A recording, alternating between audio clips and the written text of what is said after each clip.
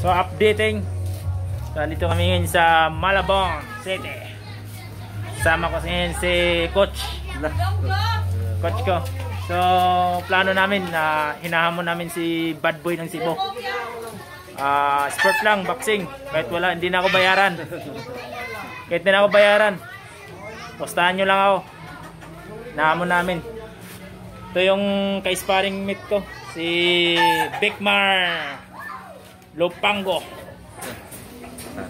Yan. So, ano, inahamon ko ngayon si Bad Boy ng Cebu. Billy Jackson yung Kung mayroong Bad Boy ng Cebu, mayroon ng Saya, Bad Boy ng Malabon City. mag-message ka kay Boss Indy, maglaban So, tayo ayan. sa So, ng Coach, anong masasabi mo kay Bad Boy? Bad Boy ng Cebu, kaya ko ba? Hindi, babayaran kaya. Boss GM. Tulog yun. Puto lang pang anon. So, Bad Boy, sana makarating sa ito. At sana, at sana i-share nyo.